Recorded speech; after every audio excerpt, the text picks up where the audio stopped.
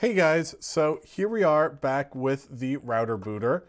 Now you might be watching this video thinking, didn't he just build this? Why are we making another video? Well, basically the moment I put this video out, I was first of all very proud of it. I, I thought that was a really good video of mine, but a lot of you guys immediately disagreed. Now, some of you thought that the project was just stupid. Uh, I don't know why, but you know, I had people suggesting just go buy an enterprise router. I, I think that just doesn't really jive with the whole concept of it kind of works.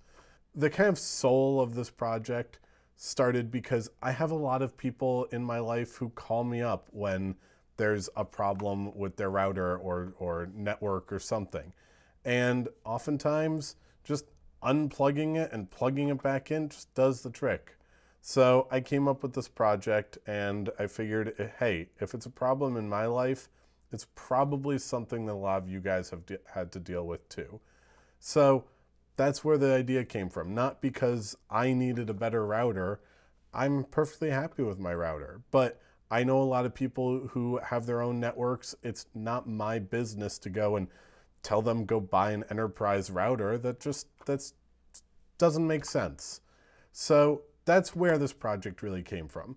Now, aside from some of you guys just pointing out, go get a better router, I also got a lot of feedback uh, saying, you know, why did you build it like this? Uh, I had some people pointing out some parts of it that were potentially dangerous, and I'm going to address that.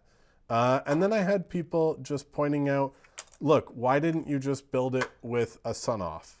Now, I've had you guys commenting about these devices for the better part of a year now, saying just get a Sonoff. Oh, this could be just done with a Sonoff.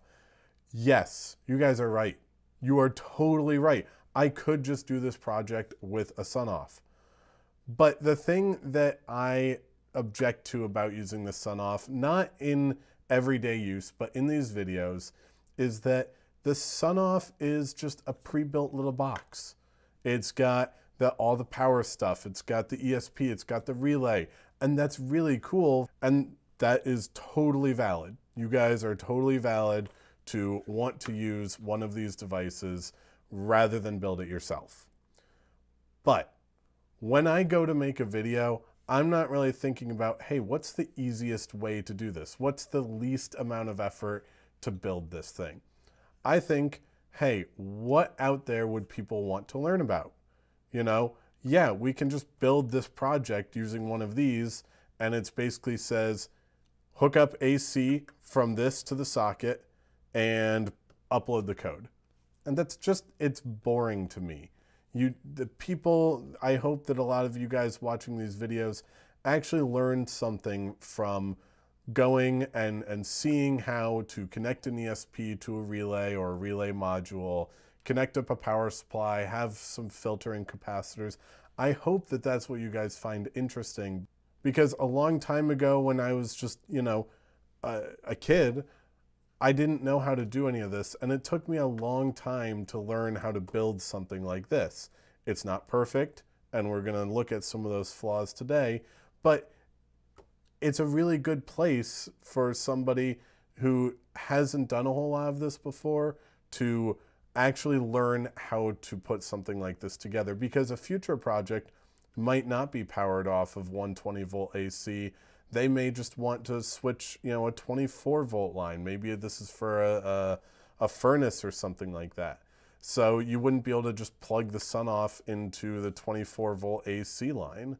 So both ways are valid, but I think building it more manually and more from the components is more interesting and more educational.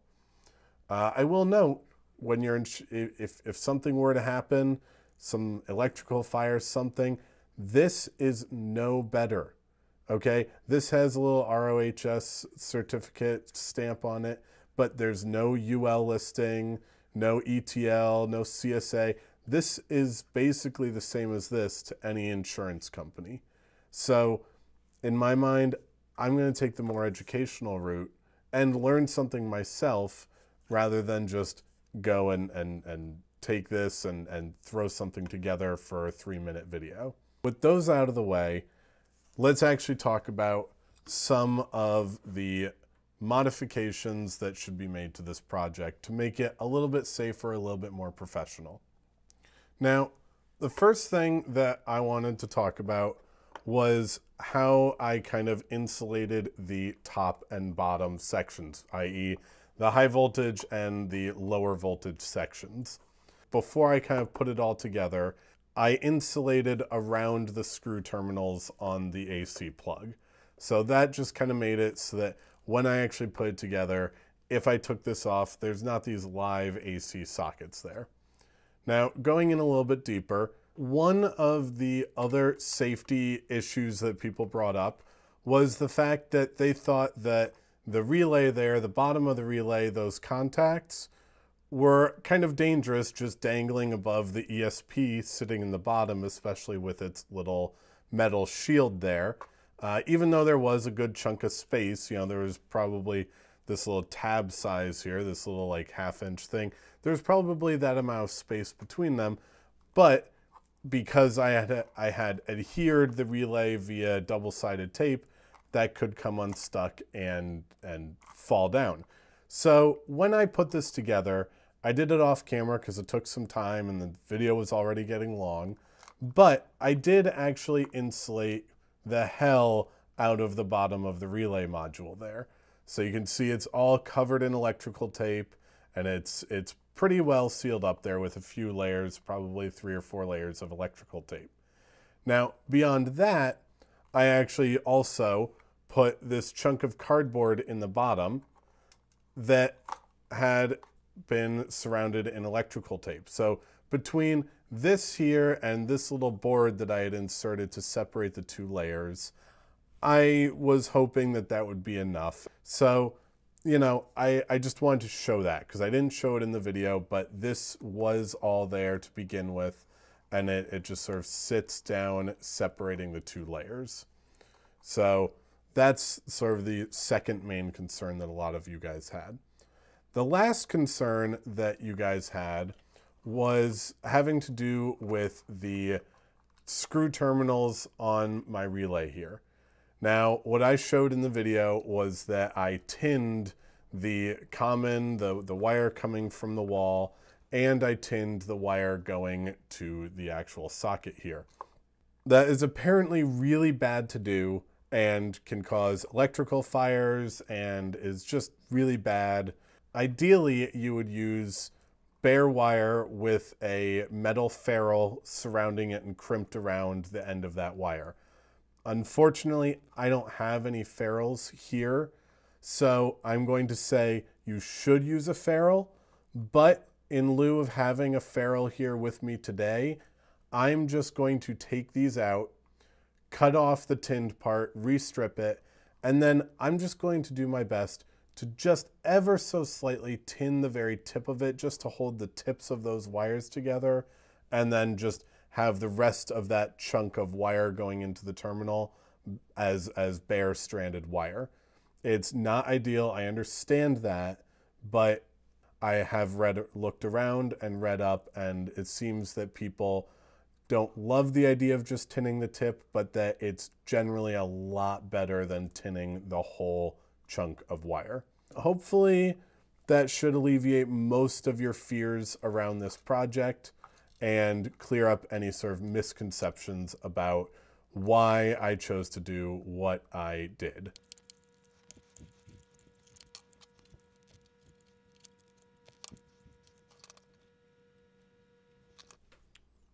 All right, so there you go. I'm not sure how well you can see that in the detail shot there. So I did, there's just the smallest little whiff of solder on the tip there. So hopefully that should be all right in the relay socket there. And I've got it on both of the wires. So once again, I know this isn't ideal and I will get a ferrule when I have the chance and put that in. But for now, this should work and should at least be mildly safer than the other way of doing it. So I'm going to get this all buttoned back up and hopefully that's where we can uh, leave the video for today. Uh, thank you guys for watching.